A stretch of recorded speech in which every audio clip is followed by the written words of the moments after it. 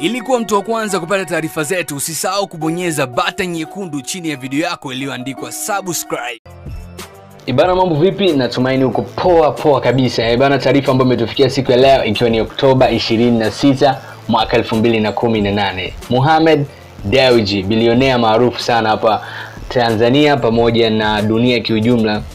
Uh, issue leo ni kwamba amewasili katika msikiti mmoja ambao unafahamika kwa jina la Shia uliopo mtaa wa Ivira Gadhi katika jiji la Dar es Salaam. Kwa mara ya kwanza Mo Dewji ameonekana kwa wananchi na kwa mara ya kwanza ameonekana mbele ya raia ambapo akiwa katika msikiti huu hapo. Kwa kwa mara ya kwanza mfanyabiashara bilionea kijana uh, barani Afrika Mo amejitokeza hadharani leo.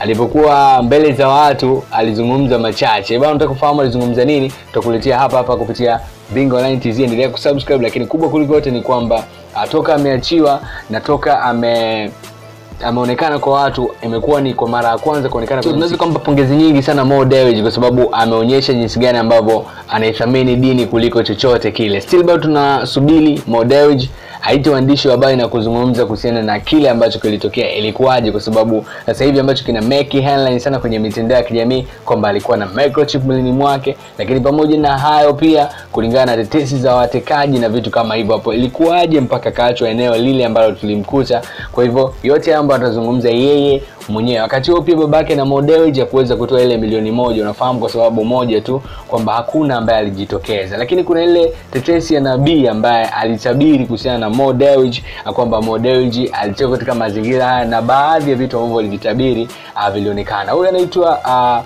Prophet Divine the Angel. So tutazidi kupa story nyingi sana kuhusiana na Mo lakini kubwa kuliko yote ni kwamba Mo ameonekana leo na akiwa msikitini. Habari ilikuwa ni machache sana hayo. Endelea kusubscribe, endelea kushare, kulike. Bana, the only best presenter in Bongo Tanzania. King B, King Mimi, King Voco. Up to next time, nitakuwa na mengi sana kwa ajili yako. Bye.